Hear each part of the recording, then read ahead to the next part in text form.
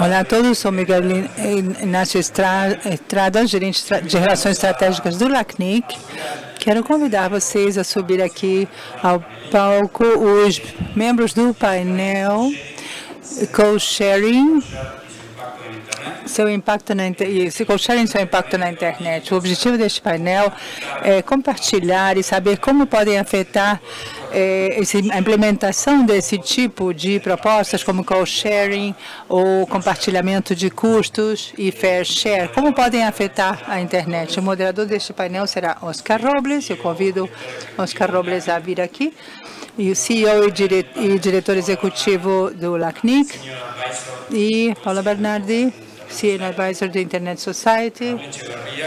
Raul Echeverria, que vai nos acompanhar remotamente, diretor executivo de Alai, Christian Sanches, Cristiane, perdão, Sanches, líder do Conselho de Administração de Abrim, e Javier, coordenador do Laquixix. Muito obrigado.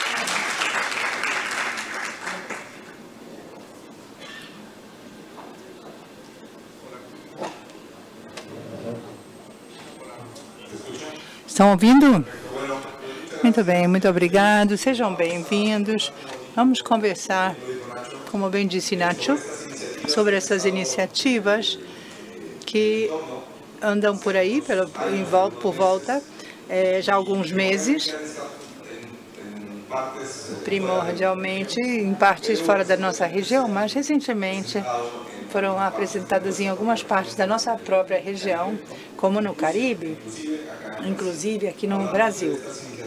Falamos sobre estas iniciativas de Fair Share, Fair Share perdão, que e seu impacto Sending Party Pays, que, que podem ser traduzidas como iniciativas para que os operadores possam cobrar dos geradores de conteúdo pela excessiva quantidade de tráfego, tráfego que os usuários dessas plataformas consomem.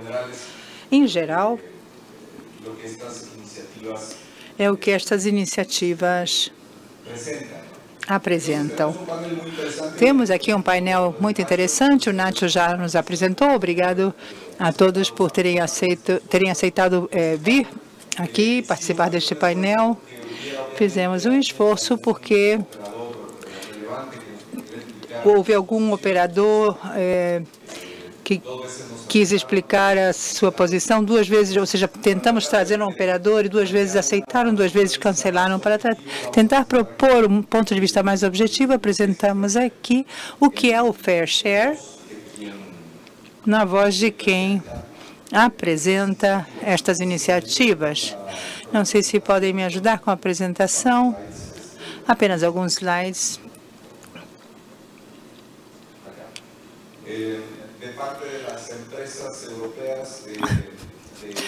Da parte das empresas europeias, da rede de telecomunicações, European Telecommunications Network Operators, os diretores executivos apresentam esta declaração. Está relacionada com o que consideram que está acontecendo. Eles acham que estas plataformas monetizam uma grande parte do tráfego e as empresas de telecomunicações devem investir para suportar esse tráfego. Esse, consideram esse modelo insustentável e o modelo regulatório excessivamente regulado, como o da Europa, tem limitações na capacidade das empresas de telecomunicações para cobrar pelos serviços prestados aos grandes originadores de tráfego. Então, propõe essa desigualdade na questão dos investimentos no painel anterior, vocês ouviram Esther Fernandes sobre como começa a mudar a parte dos cabos submarinos. Não é toda infraestrutura de telecomunicações, mas é um elemento essencial nas telecomunicações e como as empresas geradoras de conteúdo ou grandes empresas da internet começam a ter um papel importante nesses investimentos. O que propõe essas organizações como a Etno e Telefônica Uma compensação direta das grandes, é, é feita pelas grandes geradoras de conteúdo, as grandes plataformas propõe soluções como negociações individuais ou coletivas diretas entre ISPs, telcos e OTTs. Claro que não está muito claro sobre quem, sobre quem são os grandes telcos ou grandes ISPs, até a, a partir de onde se considera que é um grande ISP ou uma grande plataforma geradora de conteúdo. São perguntas que gostaríamos de poder responder para saber justamente como, eu, como seria o impacto das iniciativas que mencionamos. Outra solução proposta é fazer contribuições que essas empresas de conteúdo façam contribuições a um fundo universal ou um imposto digital. Embora essa ideia não seja considerada mais adequada.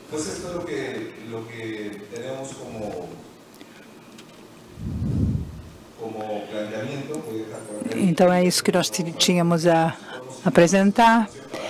Vamos tirar agora a apresentação da tela para começar o painel. Agradecemos a participação da Paula, Christian, Gabri Cristiane, Gabriel e Raul, logicamente, que está acompanhando-nos remotamente. Começamos com a Paula, que está aqui à minha direita, representante da Internet Society. Gostaríamos de pedir que ela fale é, sobre essas iniciativas, já que vem acompanhando essas iniciativas não só aqui na América Latina, mas também no mundo, que ela fale um pouco ou faça uma introdução sobre essas iniciativas identificando algumas características, algumas de suas características para que entendamos Oscar. melhor. Obrigada, Oscar, obrigado pelo convite. Vou cambiar ao português. É, bom, a gente está aqui hoje. Estamos aqui hoje para falar dessas propostas. Oscar justamente começou a falar Oscar um justamente das, começou é, a falar que são utilizados pelas é, grandes empresas de telecomunicação. E a Internet Society tem trabalhado na análise de como essas propostas impactam o modelo de interconexão da internet como conhecemos hoje. Então, eu vou trazer um pouquinho desse panorama global é, e vou começar falando sobre é, a Coreia do Sul, é, que é o, onde essa discussão está mais avançada, no sentido até de implementação. Em 2020, é, foi implementado o Telecommunications Business Act, que é justamente uma regulação que exige que os ISPs cobrem pelo tráfego que recebem uns dos outros. Então, essa é justamente uma substituição de antigas regras de peering e que mudou também aí a, a, a, os custos né, para os provedores de conteúdo. Na Coreia do Sul ainda se discute também outros projetos de lei que trazem de volta o modelo de telecomunicações no qual exigiria contratos entre provedores de conteúdo e ISPs, e ainda projetos que prevêem o bloqueio de tráfego de provedores é, de conteúdo baseados tanto dentro como fora da Coreia do Sul, e que se recusem, de alguma maneira, a pagar essa taxa de uso de rede, ou Network Usage Fee, como é amplamente conhecido. Na União Europeia, a gente tem acompanhado especificamente a discussão na Comissão Europeia, é, como um exemplo aí de outra jurisdição que tem é, trazido essa proposta mais formal. E em 2023 foi realizada uma consulta pública no primeiro semestre é, na União Europeia, é, justamente para adotar o fair share, ou partilha justa, cost sharing. É, e o plano atual que eles têm é de avançar com esse tema nesse ano e no próximo. E essa proposta é um regime é, de taxa de utilização de rede que obrigaria certas empresas, também como disse o Oscar, não muito claro quais são essas empresas, qual tamanho estamos falando, é, de pagar aos ISPs pela capacidade de fornecer conteúdos aos consumidores finais.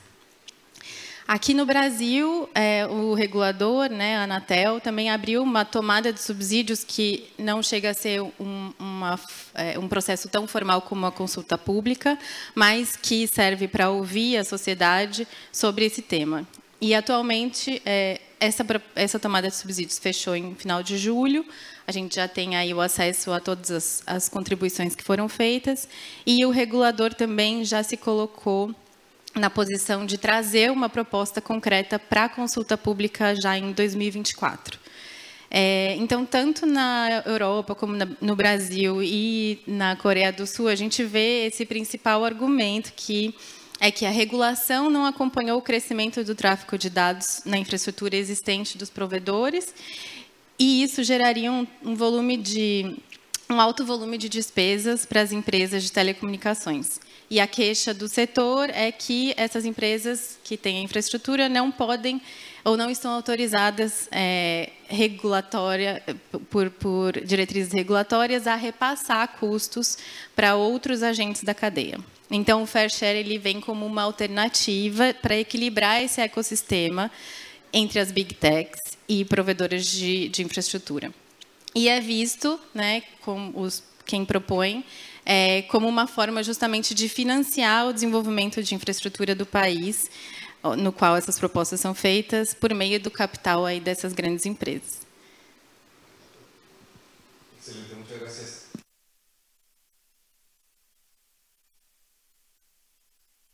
Mas, ou seja, quem se aplica esse conceito também devemos pensar na, na, no compartilhamento justo, mas não dizem o que compartilham. Algumas propostas falam sobre compartilhar custos, mas entende-se também que pode ser absurdo para uma empresa que uma empresa concorde em compartilhar custos, mas não benefícios.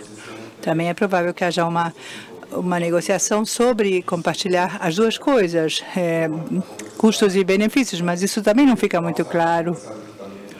Vamos falar sobre isso depois. Vamos passar a conversar com o Raul. É o General Manager dela, essa associação de fornecedores ou provedores de empresas da internet. Tem tanto grandes como pequenas empresas.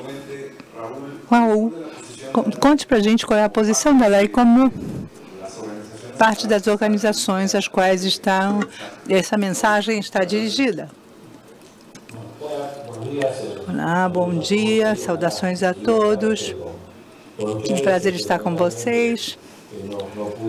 Eu não pude acompanhá-los pessoalmente em Fortaleza, porque essa viagem me coincidia com outras viagens, mas eu agradeço a oportunidade de participar com colegas tão queridos e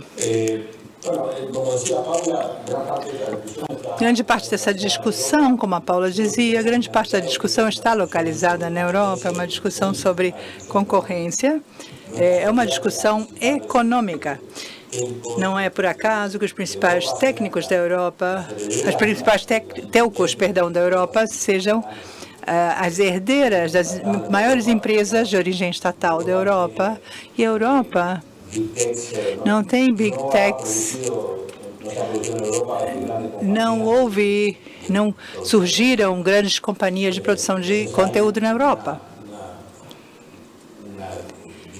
Há uma discussão entre, entre as telcos de raiz europeia e de outras regiões. A mesma coisa vemos nas discussões de digital marketing, onde as mesmas empresas são incluídas dentro do grupo de empresas reguladas, ou seja, todas têm origem na Europa. Isto não é possível discutir isso sem esse contexto. O que fica claro que, além de ser uma discussão que parte de premissas antigas, é uma discussão que já tínhamos há 15 anos. Eu lembro que com alguns na sala que, que é, bom, juntos participamos desses debates. Então, os argumentos não mudaram muito. Inclusive, perderam valor pelas modificações na arquitetura da internet, mas parte de premissas antigas, parte de uma premissa errônea, né, a meu ver, que são as das empresas de telecomunicações que, ou seja, que são mais têm mais peso do que as de geradoras de conteúdo e não ao contrário. Não se pode dar serviços da internet, da internet sem infraestrutura e ao o contrário também não é válido. São dois negócios que estão, é, estão intrinsecamente vinculados. A segunda premissa é que parece uma visão de uma arquitetura antiga, onde todos os dados circulavam sobre uma infraestrutura que era propriedade das telco.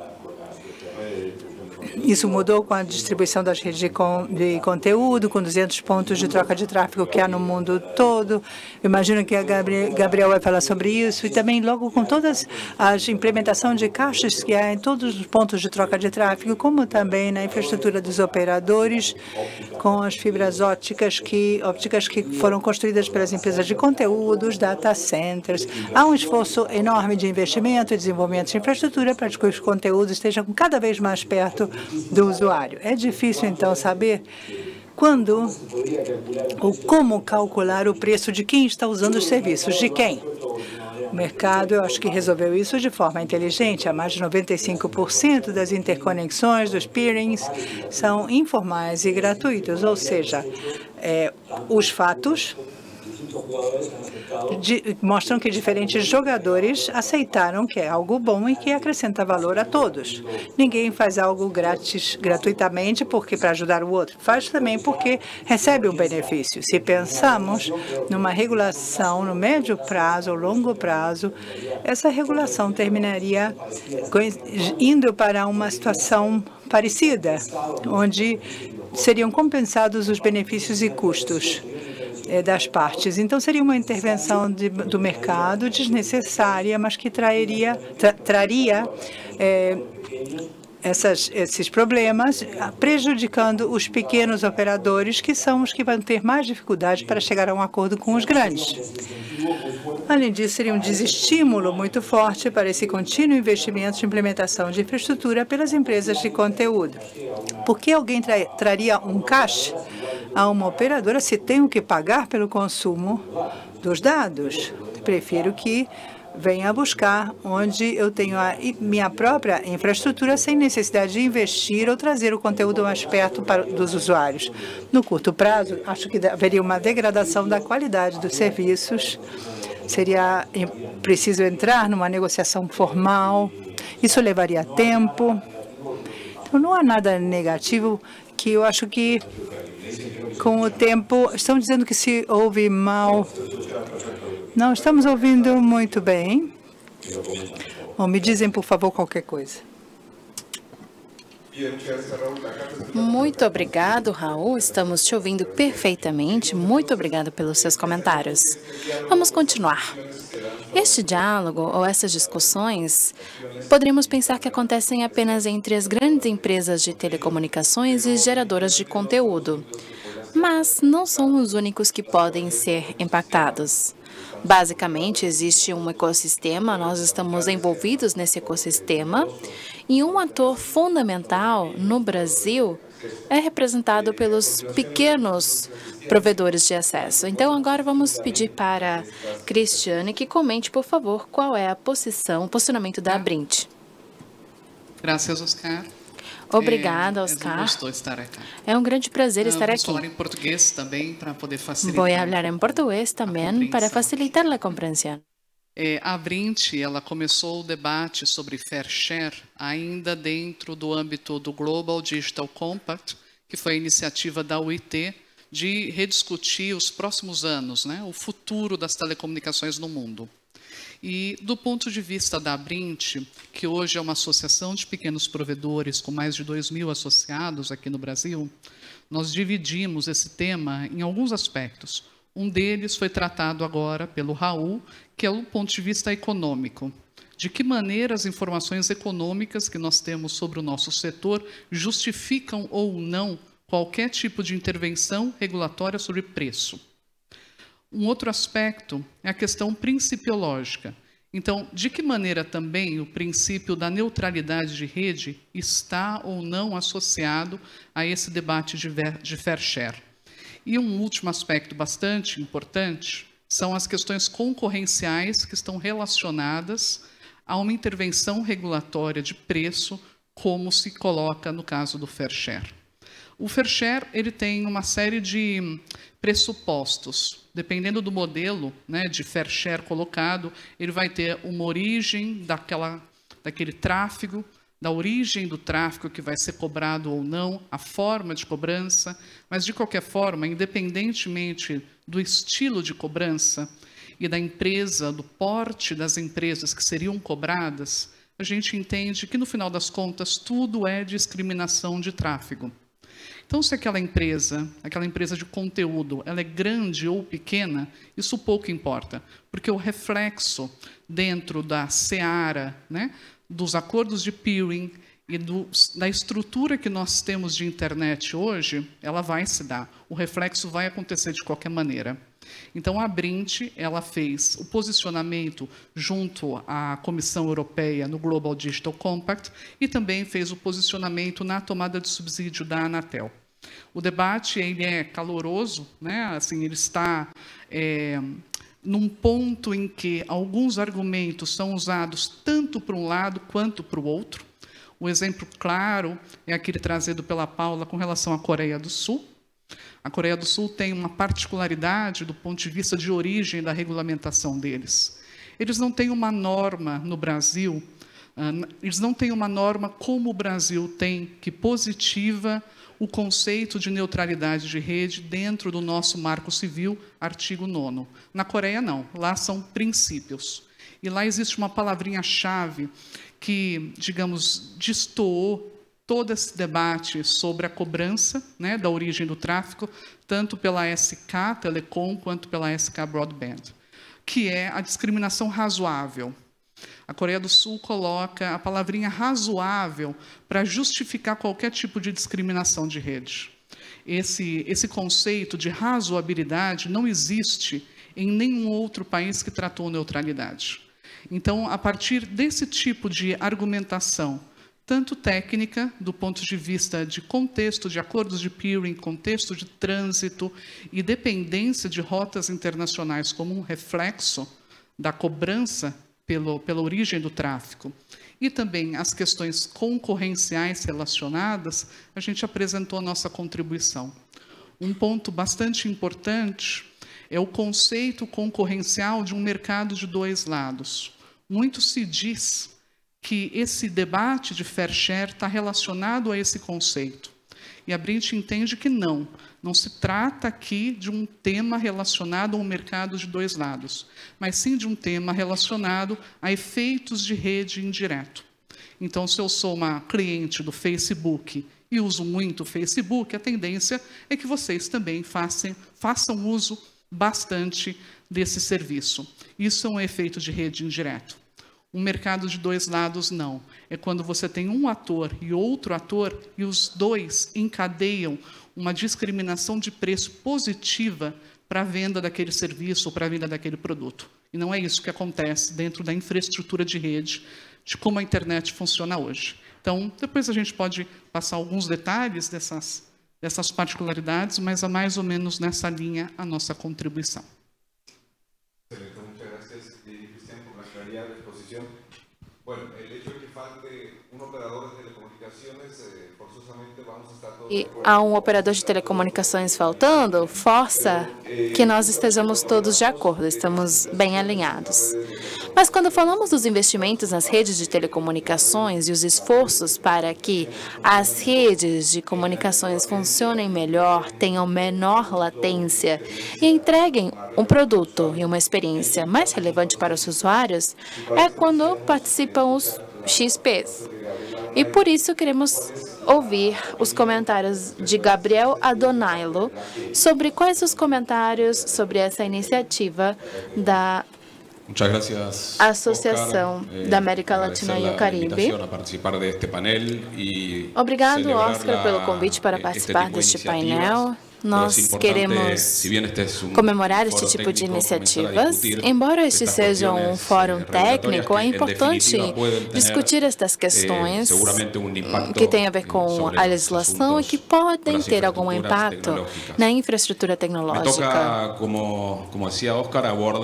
Como Oscar disse, eu tenho que falar sobre o debate de fair share a partir dos pontos de troca de tráfego.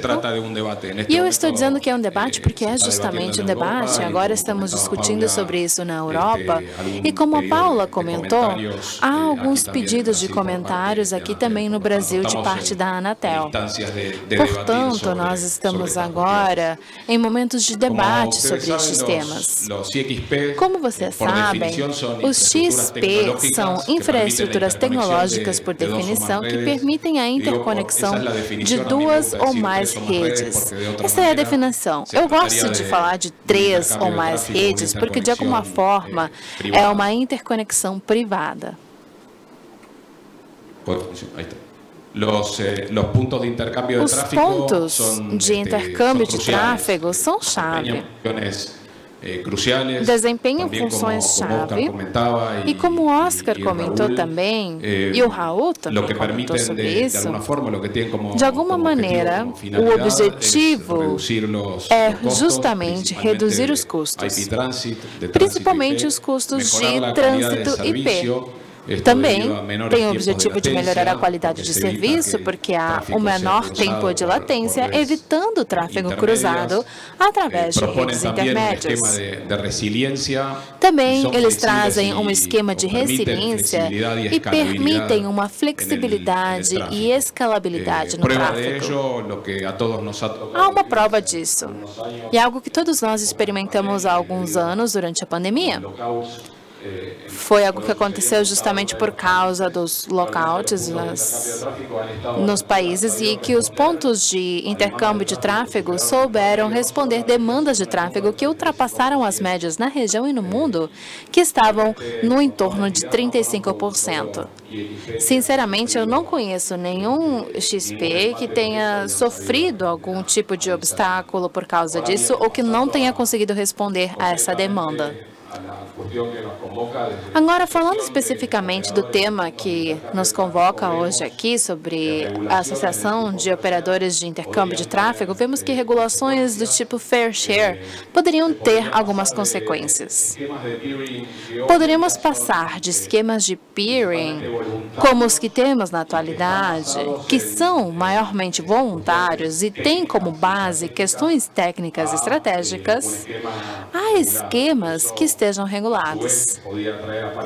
Por sua vez, isso poderia ter uma redução ou concentração de atores e, logicamente, um impacto nos custos de interconexão. Também entraria uma deterioração ou uma diminuição na qualidade do serviço. O mercado atual de peering, como nós o conhecemos, tem o objetivo de reduzir os custos. O Raul também falou sobre isso. Hoje em dia, a maior parte dos acordos existentes são settlement free. E o que isso quer dizer? Quer dizer que não há custos para as partes conectadas ou que fazem parte desse tipo de acordo. Em 2021, PCH, Packing Clear House, fez uma aposta com 10 mil ISPs e 99 ou mais de 99% responderam que tem acordo de settlement free. Responderam a essa enquete. E é justamente sem custos para as partes. Isso fica bem afastado do que seria um esquema regulado.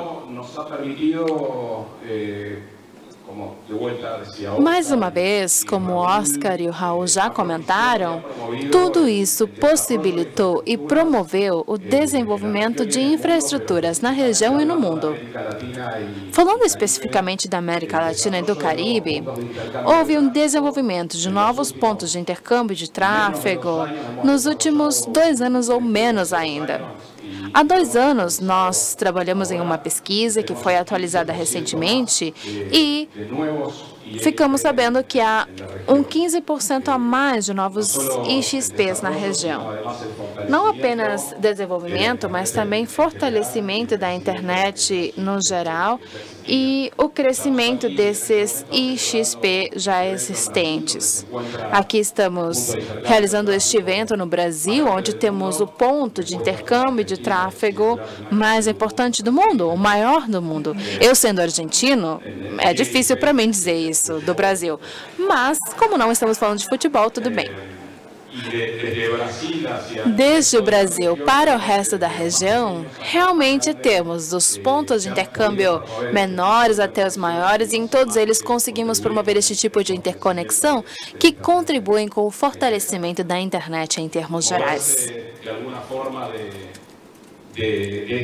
De alguma maneira, passar deste tipo de esquemas para um quadro regulado realmente faria com que nos afastemos de todas as conquistas que tivemos até agora e estaríamos dando passos para trás. Perfeito, muito obrigado, Gabriel. Vamos passar a, Agora vamos passar para uma outra sessão e eu pediria que vocês reagissem aos comentários dos membros do painel. Antes de passar para as perguntas, gostaria também de ouvir comentários ou intervenções adicionais a partir das opiniões dos outros membros do painel ou algum outro comentário que vocês queiram acrescentar ao seu posicionamento inicial. E vamos com a Paula em primeiro lugar. Obrigada. Bien, creo que voy a mencionar algunos puntos porque me gustaría presentar la postura de Internet Society respecto a las consultas públicas en la Unión Europea y en Brasil. Así que tal vez haga un resumen de algunas consideraciones. Nosotros hemos colocado siete puntos, que es lo que entendemos como estas propuestas que impactan al modelo de interconexión que conocemos hoy en día en Internet. En primer lugar, entendemos que estas propuestas cambian de manera drástica y la premisa fundamental del modelo de Internet como lo conocemos hoy en día, que permite que Internet sea el éxito que es. En segundo lugar, son incompatibles con la neutralidad de red. Así que estas propuestas precisamente estarían cambiando el derecho a tratar el tráfico con autonomía, como sucede hoy en día en Brasil, en el marco civil, y también con la premisa de Internet. Y también, en tercer lugar, generaría riesgos de fragmentación.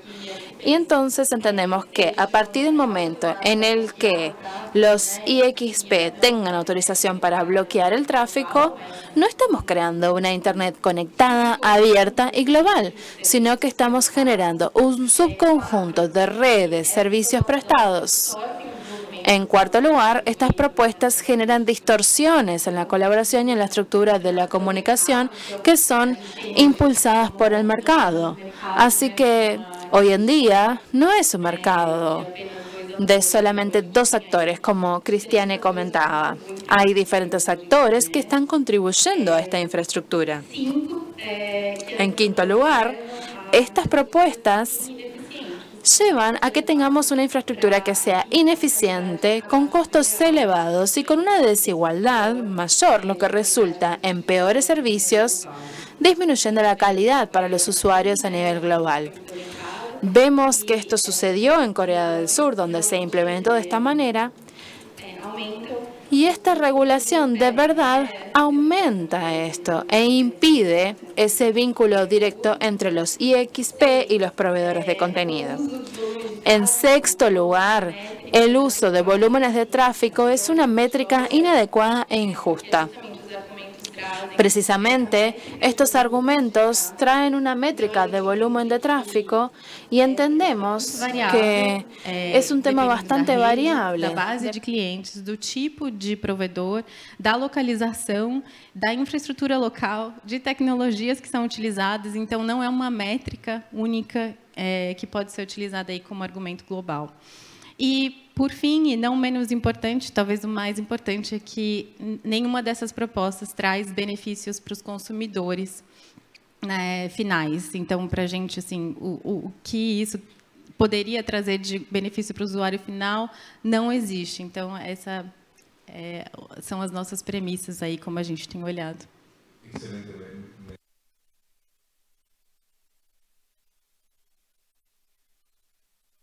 Se vocês conhecem a internet, a Internet Society, é muito relevante porque historicamente definiram os princípios técnicos da internet, com os quais a internet foi criada. Então, o fato de que não exista interesse econômico neste debate de parte da Internet Society é muito bom, porque nos otorga um posicionamento neutral sobre o assunto. E eu quero fazer alguns comentários sobre dois pontos da Paula.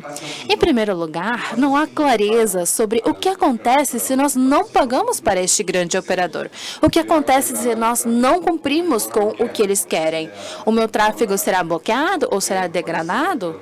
Foi isso que a Paula comentou, acho que no ponto de número 3, sobre esse risco de deterioração.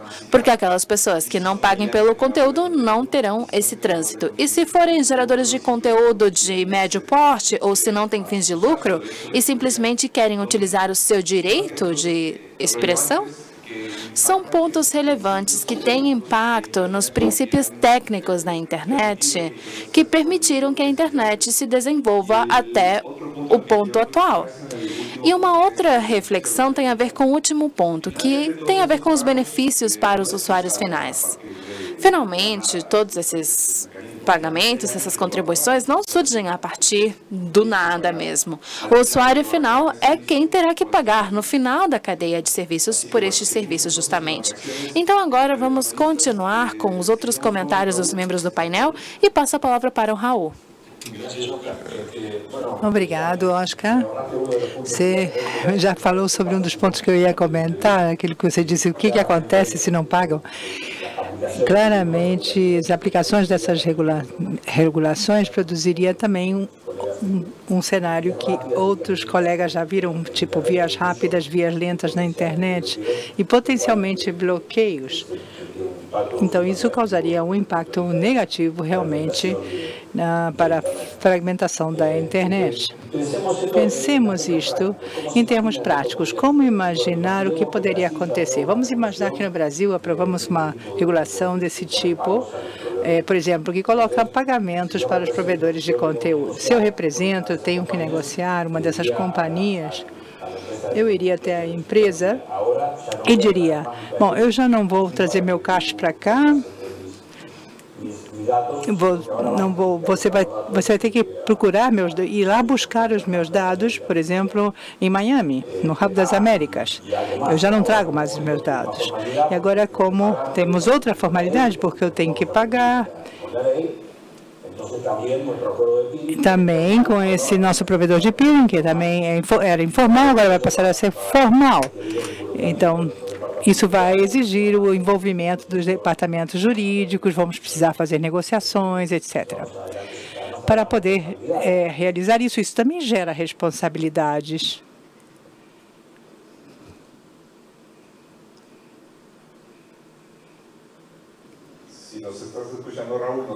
Está nos ouvindo, Raul, nós perdemos. Bom, enquanto isso, aí voltou, Raul, aí voltou.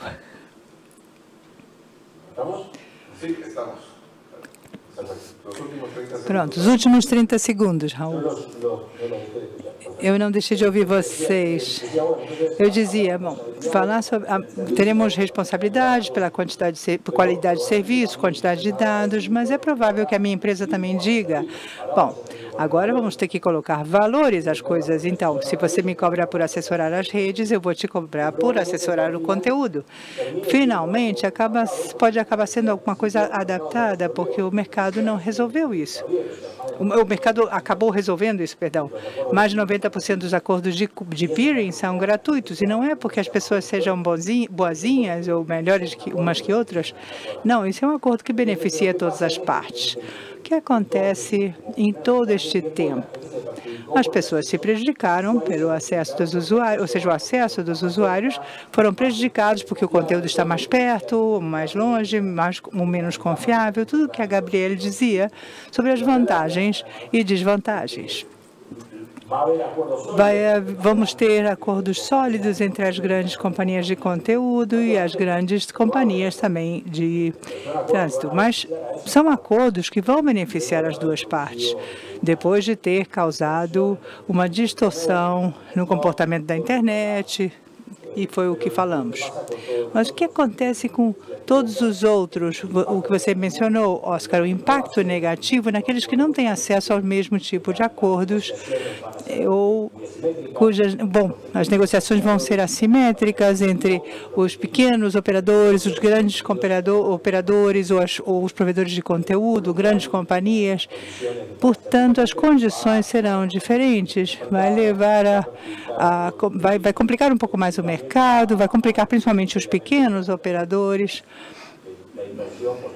E vai haver mais investimento para poder levar o caixa para os IXPs, para fazer peering com ISPs, e não vai beneficiar as companhias de telecomunicações. Então, é um caminho doloroso para todos os atores envolvidos. Perfeito, muito obrigado. Bom, continuamos com a Cristiane.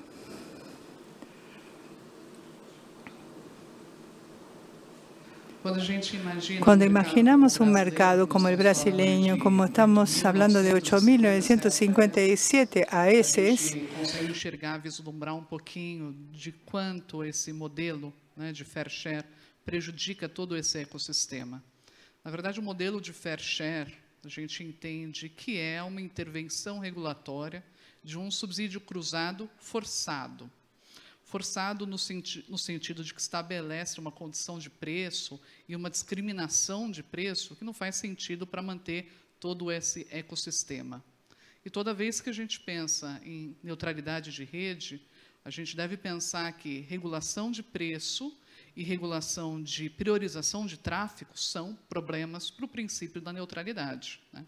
O próprio Berec, ah, no momento em que ele deu uma decisão de resposta ao Comitê Europeu se discriminação por preço era um tipo de discriminação, e a resposta foi positiva, naturalmente, a gente retoma um pouco, até mesmo, a origem uh, da discussão sobre o protocolo TCP/IP. Naquela época, lá atrás, final da década de 90, foi colocado um protocolo, talvez alguns aqui se lembrem, do protocolo X25. O protocolo X25 ele tinha como uma grande diferença em relação ao TCP/IP justamente a priorização de pacotes. Então, esse conceito de não discriminação nasceu lá atrás. E ele faz todo sentido para manter o ecossistema do jeito como a gente conhece hoje. Um outro aspecto importante é a questão dos investimentos que são feitos na rede. Ah, o volume que nós temos de CDNs e o volume de investimentos feito pelas empresas de conteúdo, ele é sim muito significativo. E cada ano ele cresce mais, muito mais do que qualquer previsão no sentido de incremento dos investimentos em redes de telecomunicações. Nós tivemos um salto em termos de tráfego durante a pandemia e um salto de investimento nesse período também. Depois disso, aquele volume de incremento se estabilizou. E a tendência é que isso aconteça daqui até 10 anos. O volume de investimentos nas redes móveis ele é superior, por conta do próprio incremento do 5G, mas não nas redes fixas. Então, o grande debate sobre fair share é, mais uma vez, uma questão concorrencial sobre redes fixas. Esse é um aspecto que a gente não pode deixar de perder de vista e entender o porquê que esse tema, depois de 2012, foi a primeira vez em que houve essa discussão, está voltando agora.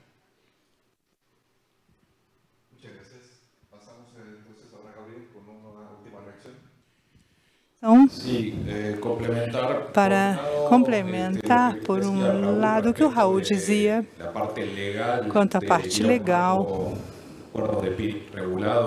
de um acordo de peering regulado e todo o tempo que isso consumiria em termos de, por exemplo, a parte jurídica, advogados, quando falava sobre settlement, settlement free peering, essa percentagem está relacionada com handshake, com acordos celebrados, eh, ou seja, acordos de cavalheiros entre as partes, sem a formalidade eh, de um, por exemplo, de uma formalidade que, é, a, que impõe a presença de um advogado.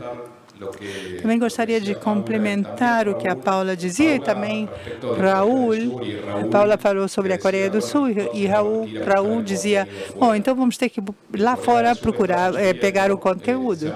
Na Coreia do Sul isso está acontecendo, o conteúdo foi movi movimentado, o conteúdo já agora está no Japão, não na Coreia do Sul, não em todos os casos, mas em alguns casos é, realmente foi muito relevante. Essas, essas situações estão estão ocorrendo fora do país. A infraestrutura dentro do país não cresce, se perde competitividade devido à concentração de, de players. É um impacto que está havendo depois da revisão das políticas de interconexão de 2016. Temos alguns exemplos Estamos vendo alguns exemplos negativos que nos fazem pensar mais profundamente nesse assunto, realmente o que e como queremos agir diante disso. Muito obrigado. Passamos então às perguntas. Vemos que temos aí uma, uma fila, uma lista de pacientes já atrás do microfone. Obrigada pela paciência. Vamos começar com a pergunta do Fórum Virtual. Não é nenhuma do Fórum Virtual? Bom, então se vocês me ajudarem com... Podem ajudar este pobre cego, porque eu não, estou, não enxergo nada. Quem está na minha frente? Bom, vou pedir que diga o nome e de onde vem. Eu sou Ariel Greiser, da Argentina, mais de 30 anos, que sou ISP. Primeiro eu tenho uma reflexão e logo uma pergunta. A reflexão é: este modelo que eu vejo me faz lembrar como nós estávamos na internet há mais de 20 anos atrás, com o nível de concentração e discriminação quanto à escolha, eh, a possibilidade de escolha com quem eu me conecto e a quem tem que pagar para acessar conteúdo. Isso era o que acontecia há mais de 20 anos. Trabalhei nos últimos 20 anos para fazer com que a internet se, seja descentralizada e distribuída. Parte desse sucesso foi conseguir os caches para a maioria dos ISPs, pelo menos na América Latina. No Brasil, há mais de 20 mil, na Argentina, mais de 2.500. A primeira pergunta, para deixar aqui para os outros, é lugar para os outros, é que eu, eu me pergunto, quem vai selecionar e como será o processo para que todos os ISPs possam ter igualdade de condições? Obrigado, Ariel. Alguém gostaria de responder essa pergunta?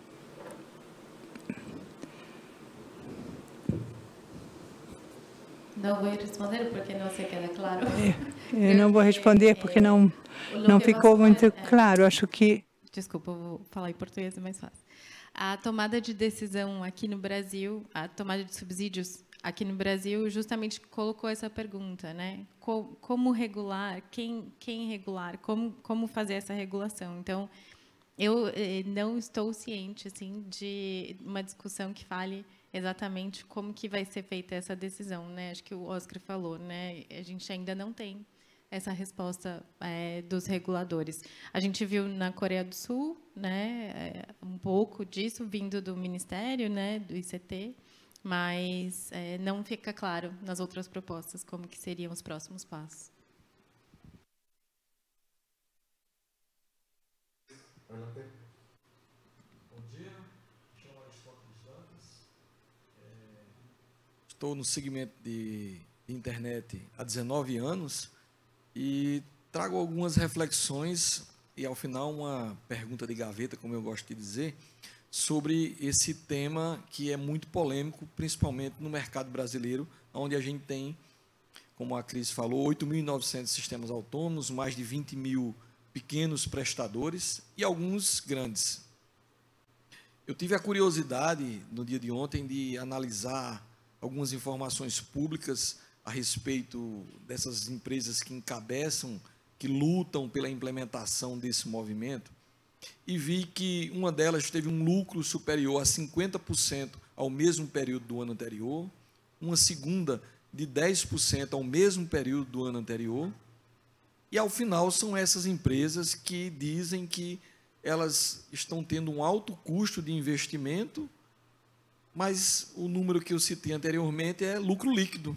Ou seja, uma empresa que disse que está investindo em sua planta, dado a, ao alto tráfego de dados, ainda teve um lucro 50% maior do que o mesmo período do ano anterior. Todos nós sabemos que o boom de dados a gente teve na pandemia e após esse momento a gente vive um equilíbrio no crescimento do grande tráfego. Tudo isso que acontece, toda essa relevância, no caso da internet brasileira, a construção de grandes redes, a popularização dos acessos em banda larga, foi o pontapé inicial para uma verdadeira inclusão digital. Eu também tive a, a, curiosidade de pesquisar sobre a quantidade de pessoas que ainda não estão conectadas no mundo, um, um número superior a 2 bilhões de pessoas, né? então, uma relevância gigante. E ao final, a gente vê tamanha é, aberração nesse pedido, aonde se pensa unicamente no cunho financeiro e não no equilíbrio entre as partes. Como a gente faria essa discriminação se o bit ele é sempre um bit quando ele trafega na rede? Em alguns momentos, para criar diferenciais estratégicos, essas mesmas empresas que hoje fazem esses pleitos, eles disseram: olha, você acessa tal conteúdo quando você contrata o meu plano e você tem custo zero. Isso foi muito relevante, por quê? Porque eles acreditavam que iriam trazer novas receitas e assim aconteceu. Hoje, após o crescimento e o ponto de desequilíbrio, eles querem implementar, implementar uma nova regra com o objetivo de rentabilizar ainda mais e prejudicar não só os usuários finais, que somos todos nós ao final do dia, como também as pequenas empresas que hoje continuam galgando o seu espaço no mercado de trabalho são as empresas que, no Brasil, as pequenas e médias empresas, são as que mais geram emprego, são as que mais realmente fazem a inclusão digital. Então, eu deixo para vocês que estão abrilhantando esse painel a seguinte pergunta: Qual esforço será necessário para que a comunidade da internet, todos nós que estamos aqui, devemos, é, possamos fazer em conjunto para impedir que essa aberração continue a permear as nossas conversas, dado o, o, o avanço que alguns membros dos poderes e de alta relevância já demonstram serem favoráveis à adoção dessa medida, que entendo eu, na minha humilde opinião, ser muito prejudicial não só aos pequenos provedores de internet do Brasil e da América Latina, como a todos os usuários da internet através dessa discriminação. Muito obrigado. Obrigado, Aristóteles. Alguém quer atender essa pergunta de Aristóteles? Com relação à pergunta, é, existem alguns argumentos que são bastante técnicos, né? E quando a gente sai de um fórum como esse e vai conversar com quem está discutindo a política pública, dificulta, né? A gente tem essa dificuldade aí de fazer passar o nosso entendimento. Mas tem uma característica que é muito importante nesse debate, que é a capacidade generativa da própria internet. A possibilidade das pessoas terem acesso completo a todo o conteúdo, independente daquele conteúdo vir de uma grande empresa de conteúdo ou não. Então, esses dois argumentos, embora a gente chame de uma maneira mais técnica, a gente pode converter né, para o olhar público em geral, mostrando às pessoas que elas têm acesso a conteúdo na rede. Então, se você limita isso a partir de uma discriminação de preço, você gera um problema, principalmente para aquelas camadas é, menos abastadas. Isso é algo natural. Então, quando se compreende que esse ecossistema, na verdade, é a capacidade de muita gente estar incluída do ponto de vista social, do ponto de vista cidadã, aos conteúdos que estão na internet, facilita um pouco o debate. E com relação também à pergunta do, do Ariel, uma coisa muito importante que ele colocou ali, né? A gente precisa clamar pela facilidade do acesso a CDN e as condições de CDN, independentemente do dono desse conteúdo. Né? A, a, a, o fato daquele conteúdo estar próximo é uma maneira da gente democratizar o acesso e garantir uma qualidade muito melhor. Então, é, gostaria de parabenizar a primeira pergunta também, em função disso, né, do quão importante é a garantia desse acesso de uma maneira transversal, independente da força de negociação ou não que aquele provedor tenha. Muchas gracias, Cristian. Antes de continuar com as perguntas, há um desafio del que quizás sí podemos ser sensibles, não necessariamente a solução. Talvez possamos ser sensível, sensíveis à solução.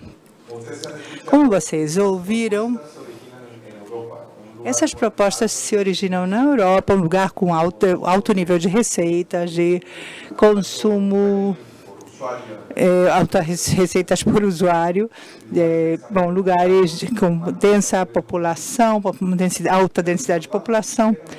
Mas se vamos para outro lugar, um lugar que não tem essas condições, por exemplo, o Caribe, com baixa renda, é, não são as comunidades mais favorecidas tecnologicamente, não estão propensas a adotar essa tecnologia, lugares remotos e dispersos com pouca população e com quadros regulatórios que propõem desafios. Ou seja, a forma de resolver, não quero dizer que seja esta, mas quando vemos o desafio que esses operadores têm, esses países têm, para atender essa cobertura de telecomunicações, eu acho que propostas como estas vão ter uma ressonância maior que nos nossos países que já resolvemos, digamos, de, uma forma, de formas bem diferentes a questão da conectividade. Talvez aí seja onde esse tipo de iniciativa tenha um pouco mais de vida que no resto dos países, apenas para levar em conta esses desafios financeiros que existem. Vamos continuar com as perguntas do fórum. Temos Maia, adiante. Bem, é, meu nome é Warner Maia. É, meu nome é Warner Maia. mas quero deixar bem claro que essa não é uma posição da entidade, sim uma posição minha como uh, operador, que já fui desde o início da internet comercial do Brasil. E é, e de ter o conhecimento de alguns é, números da, da, da, internet do Brasil e menos é, com menos profundidade de outros países da nossa região. Bem, é, em primeiro lugar, eu acho essa discussão ela não é uma discussão nova. Ela mais recentemente ela mudou de nome para Fair Share, mas essa discussão já existia desde que a gente discutia 10, 12 anos atrás a questão da neutralidade de rede. Porque, como a Cris muito bem pontuou, essa discussão passa por uma modificação em como a gente manipula a internet é, nos dias atuais. E me, me parece que alguns números são muito relevantes é, eu vou citar com mais propriedade os números do Brasil, mas eu sei que esses números é, tem, também têm seus correspondentes na Argentina, em outros países da nossa região também seguem, muitos deles seguem um modelo semelhante. Né? Nós temos hoje no Brasil é, o segundo maior número de AS do mundo, é, nós temos 53% das conexões de banda larga em fibra ótica providas por pequenos operadores. Então, mais da metade das conexões de banda larga no Brasil não são providas pelas grandes telcos, e sim por pequenos operadores.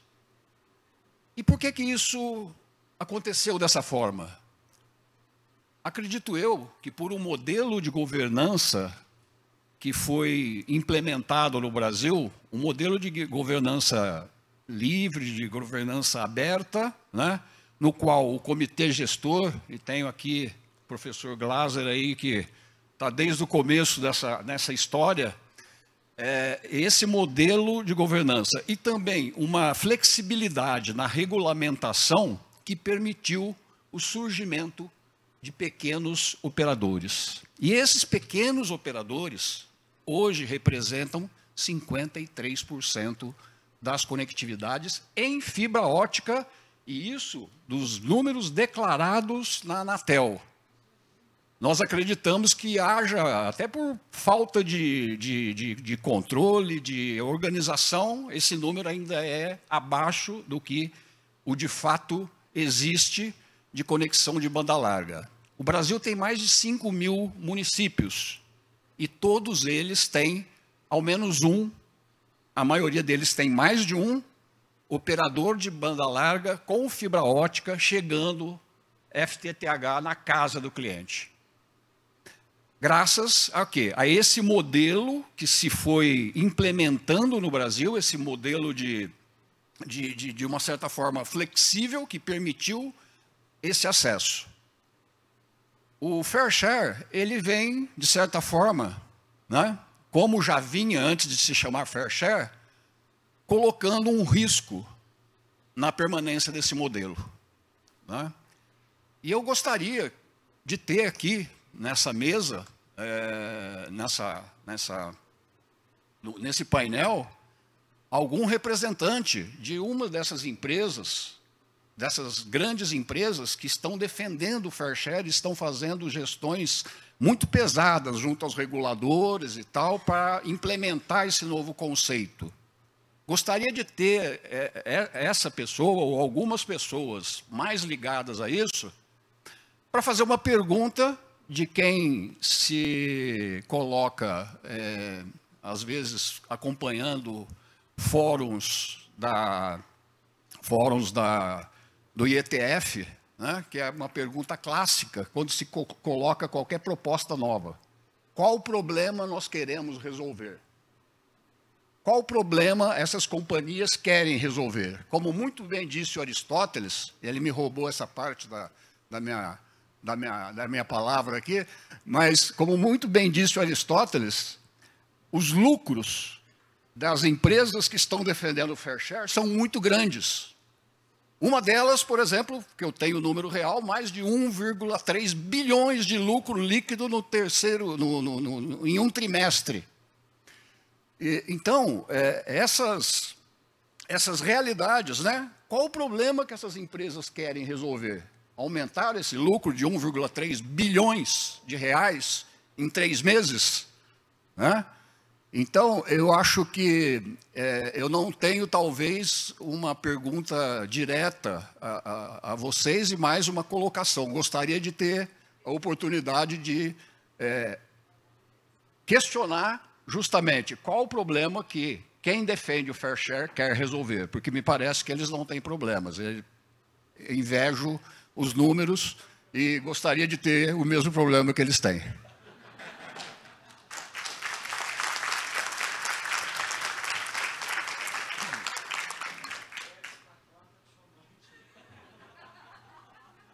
Muchas gracias, Maya. Eh, no alcanzo a ver, pero sé que hay alguien en la, en la fila. Adelante, por favor, su nombre y afiliación. Basilio, de LAC-SP.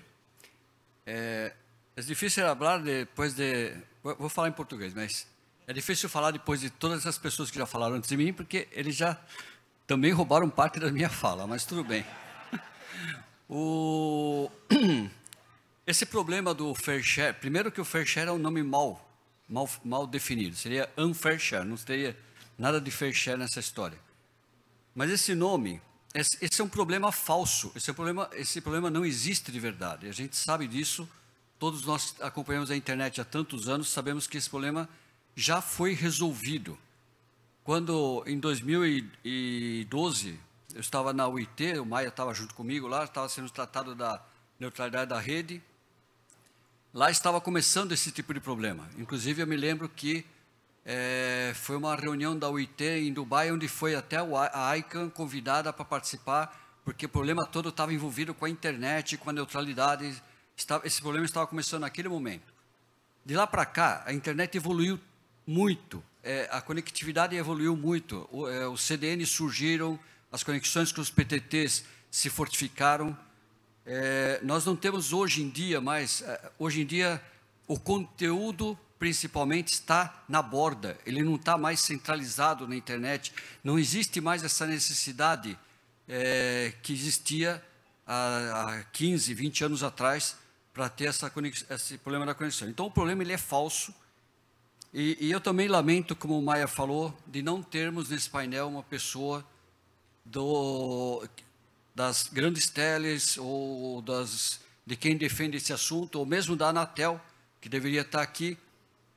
Coincidentemente, neste mesmo, agora há poucos, menos de uma hora atrás, houve um painel idêntico a este, no Futurecom, falando sobre Fireshare, só com operadoras de telecom. Ou seja, o pessoal simplesmente eles fogem do diálogo com quem realmente entende de internet. No Brasil está muito bem definido o que é internet e o que é telecomunicações. A gente tem essa divisão muito clara na separação. E o pessoal de telecomunicações vai falar de internet, e eles teriam que vir falar aqui com a gente, porque aqui é que se sabe como é que funciona a internet e como que as coisas vão funcionar. O que aconteceu na Coreia é um exemplo claríssimo do que não pode acontecer. Porque lá fizeram o fair share, o pessoal foi, levou o tráfego para o Japão. Agora, recentemente, saiu uma notícia de que uma grande operadora fez um acordo com eles para começar a pagar para o Netflix, alguma coisa assim. Só que, veja bem, uma operadora fez um acordo. No Brasil, são 20 mil pequenos operadores e quatro grandes operadores. Se quatro grandes operadores fizerem algum acordo com as operadoras de conteúdo, quem vai fazer o acordo com as 20 mil? Não vai acontecer. E no, na Argentina acontece a mesma coisa. Ou seja, é, essa questão de acordo é uma visão antiga de mundo, de mundo centralizado, de mundo onde é, as telecomunicações são monopolizadas. Realmente o pessoal tem que, eles teriam que vir para esse evento, ou nós temos que ir lá no evento deles e também falar sobre esse tipo de assunto. Mas o que, que, que eu queria completar com vocês é o seguinte: nós, é, para todos os efeitos, esse é um, é um argumento falso que não tem motivo de estar é, novamente tratando desse assunto é, de distribuir o, o, conteúdo. E outra coisa que o Raul falou muito bem, eu me lembro disso daí, eu sou provedor há 27, quase 28 anos já, quando eu comecei a internet de acesso discado, eu tinha é, receio de que aquilo fosse uma moda passageira. Eu realmente não tinha noção do que podia virar a internet. E eu tinha muita preocupação de falta de conteúdo. Então, o meu, meu medo como provedor de acesso à internet era que não houvesse conteúdo suficiente na internet e meus usuários simplesmente cancelassem porque não tinham mais o que fazer.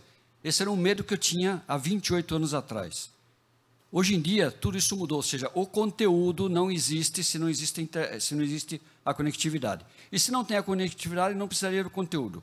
Se hoje em dia nós não tivéssemos todos os fornecedores de conteúdo que nós temos hoje, os grandes operadores, os grandes OTTs, nós poderíamos estar com acesso discado no, no, é, no, é, até hoje e não teria problema nenhum, porque para ver um e-mail, para fazer uma, uma troca de mensagem, poderia ser um acesso equivalente ao discado. Nós temos essas capacidades todas que foram instaladas hoje por causa do conteúdo. Senão, não teria necessidade de nada disso. O 5G não teria motivo de existir. Nós poderíamos estar no 2G se não tivéssemos o conteúdo que, estão, que existe na rua. Então, uma coisa está amarrada com a outra. É, é, uma, é uma visão é, meramente de ganância econômica. Realmente o pessoal não tem outra.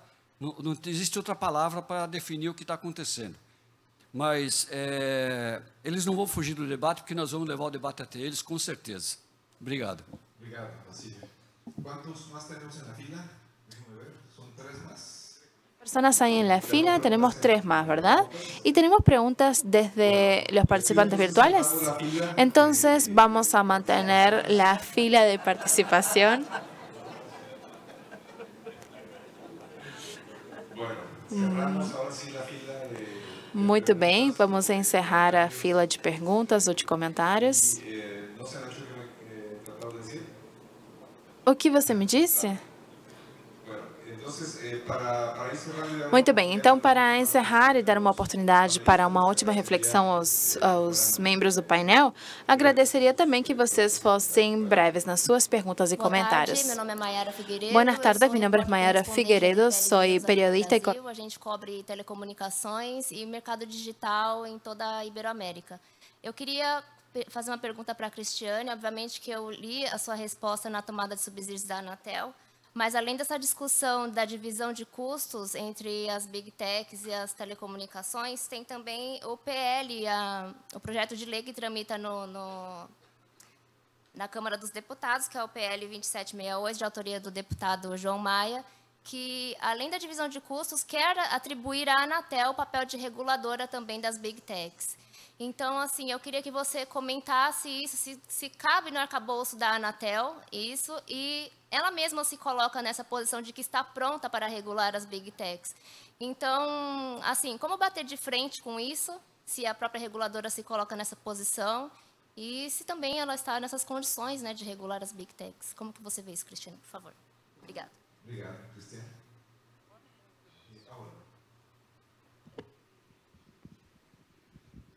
Obrigada pela pergunta. É, esses temas eles estão relacionados, mas eles são muito distintos. Esse que é o problema. Né? Uh, o PL a gente trata de intermediação de conteúdo e desinformação. É bastante distinto de tratar de fair share, né? de unfair share, como disse o Basílio. Uh, do ponto de vista do PL, a gente tem uma discussão ali de competência e tem uma discussão também de possibilidades econômicas dentro do Brasil o que se vê pelo mundo é o mundo todo levando a discussão de internet para o seio de telecomunicações. Então, o FCC fez agora isso, né, trazendo a internet para o título 2 da regulamentação deles e retomando o conceito de neutralidade, levando a internet lá para dentro. A Índia fez exatamente o mesmo movimento, colocando a internet dentro do seio de telecomunicações e o Brasil, dentro da tomada de subsídio, mistura uma série de questões ali, dentre elas a questão da competência sobre a internet. Então, quando a gente fala de fair share, é sim uma regulação de preço que atende e interessa à internet propriamente, mas não de uma maneira positiva, mas sim negativa. Agora, do ponto de vista de competência, de desinformação e de análise de moderação de conteúdo, a discussão é outra, e daí sim eu entendo que a gente tem outros caminhos para adotar, além da própria Anatel. Então, eu acho que são, são debates distintos. A Brint fez um posicionamento público a respeito da Anatel na condução da desinformação, mas ela não está relacionada ao debate do fair share. Não sei se eu consegui responder a pergunta. Obrigado. Bom dia, é, Fernando Frediani, é, eu queria fazer um comentário primeiro um sobre comentário sobre os panelistas é, a respeito do marco civil da internet. Sobre o quadro, o marco civil da internet. Eu gosto muito de a mim me gusta muito estudar. Y tengo una interpretación del marco civil y me parece que ese tipo de, de discusión, en mi opinión, no viola el marco civil en, en la degradación del tráfico, porque la degradación, eventualmente causada por una saturación en la capacidad de interconexión entre dos empresas que distribuyen tráfico y lo eh, mandan al cliente, bueno, esa es una decisión de negocios, una decisión comercial comercial. A empresa Telecom, la empresa Telecom tiene la prerrogativa que, bueno, si no, ella puede decidir, si no quiere hacer una actualización, eh, no, puede no alojar un GGC, un, servidor en general de OTT, se va a perjudicar. O sea, es, esto va en perjuicio de sus intereses.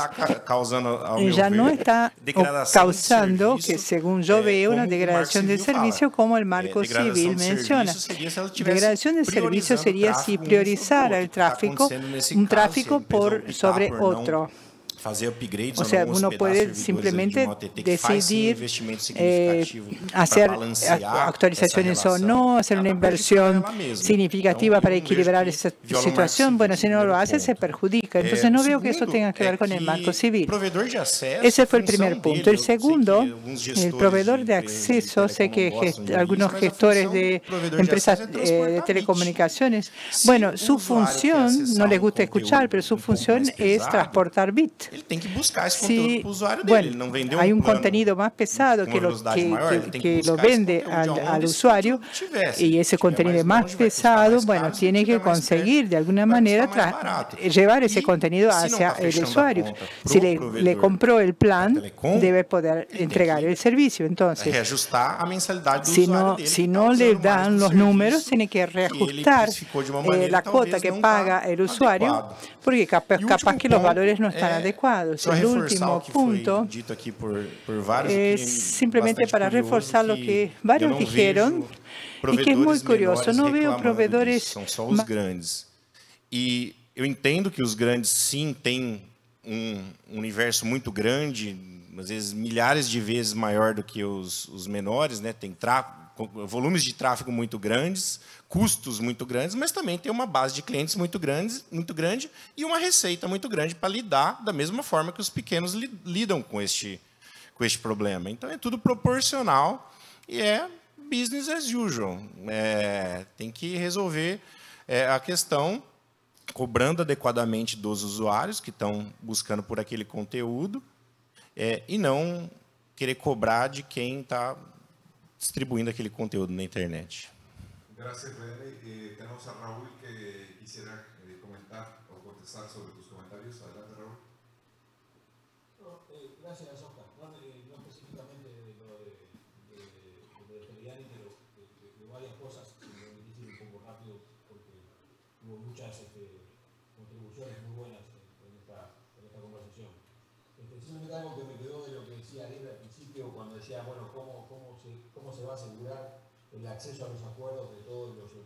acesso aos acordos de todos os operadores. O que costumamos ver é que quando as regula regulações são más e tem é, vácuos, o problema é que se, com, é, tentam consertar essa regulação com outra regulação, em vez de tentar resolver os problemas da regulação original. Então, isso cria cenários é, indesejados. Cristiane falava, é, Frediane falava sobre, Cristiane falava sobre a CDN, acho que é algo muito importante, temos que trabalhar com essa comunidade reunida em Fortaleza. Foi, houve muito trabalho para melhorar a infraestrutura. No Brasil, o trabalho feito por Nick Berry, com o projeto do PTT realmente é admirável. Acho que temos que continuar trabalhando nessa linha para que isso aconteça. É verdade, Carlos, o que você diz do Caribe, há uma discussão em andamento. Nós apresentamos há uma semana um, nossos comentários a uma discussão de Trinidad e Tobago, as autoridades de telecomunicações, como também a Anatel. Apresentamos nossos comentários lá também. Acho que onde faz falta mais colaboração, é, não, não mais regulação, mais colaboração para aproximar os conteúdos dos usuários, aumentar a possibilidade de melhorar os serviços para os usuários. Essa seria a abordagem correta. Maia perguntava qual é o problema que se quer resolver. Na minha primeira intervenção, eu disse que na Europa a discussão faz sentido. Não quer dizer que seja boa, mas faz sentido, porque eles procuram resolver uma questão de é, concorrência. Eles querem trazer subsídios da indústria norte-americana ou da China para melhorar a infraestrutura europeia. Para eles, na Europa, é uma, é uma solução que tem sentido, não faz sentido para nós na América Latina. São situações diferentes, realidades diferentes. É preciso destacar isso. Nós não temos um ecossistema é parecido com o da Europa de hoje. E algo que o Basílio disse, que achou muito importante, quando ele dizia quem vai negociar com os 20 mil pequenos operadores? Não, não temos que subestimar o que qualquer um de nós disse. O valor dos acordos atuais informais tem é, e não devem ser subestimados. Devemos tentar resolver, não, não resolver 20 mil situações. É impossível sequer pensar nisso. Por isso, vai haver uma priorização da energia nos acordos com os grandes operadores, tanto de conteúdo como é, de outros serviços. Basílio tem muita razão, acho que é um ponto muito importante que ele trouxe. E Frediani agora disse que, que isso não tinha a ver com o marco civil. É, eu não, não estou de acordo. Eu acho que isso levaria a uma diferenciação de acordos portanto, leva assim a uma declaração de serviço se eu priorizo, eu vou priorizar os pacotes com aqueles que eu tenho melhores acordos ou que eu, com os quais eu tenho um acordo. Senão, essa discussão não tem sentido. Isso leva a uma declaração, pelo menos no curto prazo. Eu adoraria poder também dar a minha opinião sobre o projeto de lei 2768, onde também nos envolvemos na discussão, mas eu me limito a dizer que claramente manifestamos a opinião de que não estamos de acordo com a ideia de um superregulador que regule todos os aspectos ou questões digitais. Não, é uma boa ideia, além do mais por causa das diferentes áreas que devem ser reguladas, tem é, expertises diferentes. É, moderação de conteúdo é uma coisa, alocação de espectros é outra. São áreas muito diferentes, com diferentes perspectivas e habilidades. Muito obrigado. Desculpem, eu reagi a várias opiniões, a várias perguntas. Muito obrigado, Raul. Passamos as últimas duas intervenções. Pedimos que tenham, sejam muito breves, 30 segundos para ouvir as duas perguntas e depois passamos a uma reflexão final. Boa tarde, eu sou Saiba Ekman, sou da Colômbia, represento um grande ISP na Colômbia. É um comentário apenas. O comentário é: nós, os pequenos, somos os que conectamos os que sobram. E os grandes cada vez são maiores. Nós batemos na porta dos nas CDNs e nos ignoram. Na Colômbia, nós pagamos o acesso dedicado à internet muito caro. Então, os grandes nos asfixiam e cada vez mais os ISPs pequenos que conectam aqueles que eh, esse mercado não interessa aos grandes, é o mercado aonde nós chegamos, porque hoje viram que é um nicho de mercado muito interessante para eles, estão tentando chegar aonde nós chegamos.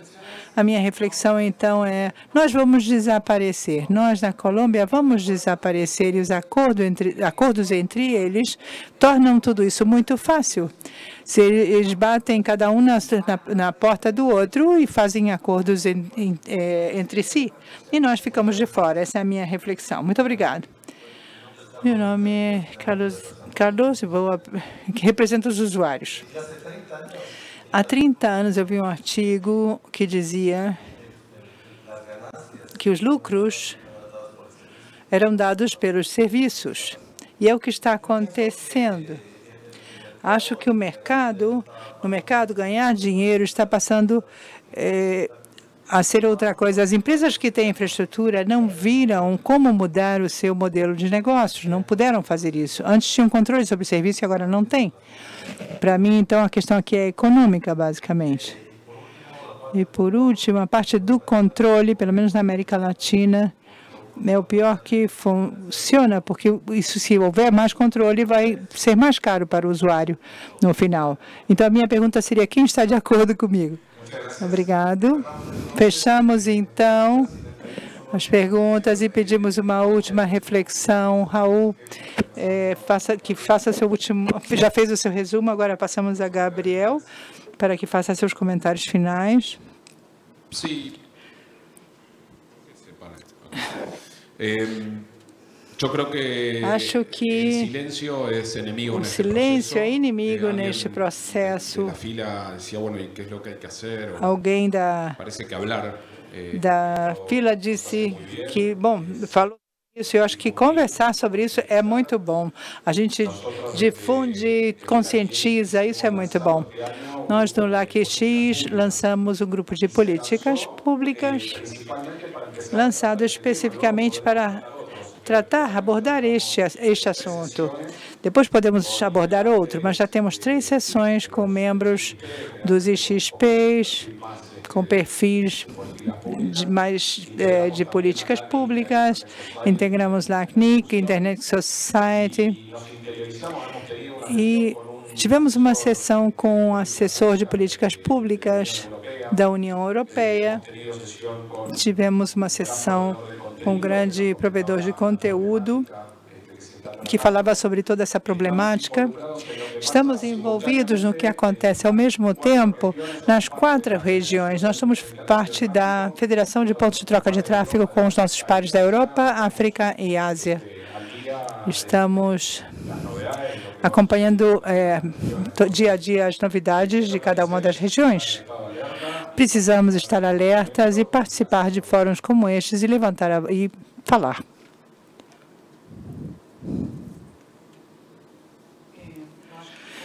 Creio que para terminar, a última pergunta traz esse ponto importante do tema econômico e da competição. um mercado de telecomunicações que a última margem de EBITDA, todas elas, todas elas, está acima de 40%. Quando você vê um mercado desse porte e depois você vê as projeções de investimento que tem pela frente em redes fixas, toda essa conversa me parece que ela se perde, né? ela deixa de ter sentido. Então, a partir do momento, para a gente endereçar essa questão do ponto de vista de política pública, é trazer os argumentos mais técnicos, é trazer um pouco de clareza a respeito de alguns conceitos, é tratar a discriminação de preço como uma ofensa, sim, ao marco civil da internet, por outros motivos também, né? e a gente continuar tratando do assunto. Esse é um assunto que nasceu lá atrás, em 2012, como o Maio e o Basílio colocaram, mas ele vem com muita força agora, principalmente depois dessa rediscussão que está acontecendo no FCC e na Índia. Então, é, são esses os cuidados que nós temos que ter entender que esse é um debate importante e, logicamente, a presença de pessoas que tenham um contraponto, uma visão diferente, é sim bastante útil para que a gente possa melhorar cada vez mais, entender da melhor forma possível como o debate deve se dar no dia a dia para garantir esse ecossistema que nós temos hoje. Muito obrigado, Oscar. É, acho que minha fala também vem nessa direção do diálogo, né? Foram falados em algumas falas aqui do Ari, é, foram falados sobre é, essa necessidade, né? Alguns atores que não estão nessa mesa hoje, mas não quer dizer que nós não estamos dialogando com eles em outros espaços, né? Então, é, essa essa busca de diálogo, ela ocorre. E o nosso papel, assim, vou falar pela Internet Society como uma organização neutra que trabalha justamente para manter a internet global conectada e segura, é, tem trabalhado para levar esses argumentos técnicos para os técnicos e também é, a gente tem trabalhado junto com um capítulo aqui no Brasil, o capítulo da Internet Society, numa campanha para também conscientizar os usuários, né, que na verdade vão ser os impactados aí, caso é, essas propostas sejam aprovadas. Esse, essa, essa campanha chama Pedágio na Rede, e a gente trabalha junto com o Instituto de Tecnologia e Sociedade e o capítulo Brasil. É, o site está em espanhol, inglês, português, e ali justamente tem um compilado de informações técnicas, não técnicas, e a gente convida aqui quem tiver interesse também de participar dessa discussão, fazer perguntas, enfim, engajar com a gente nesse assunto. Obrigada.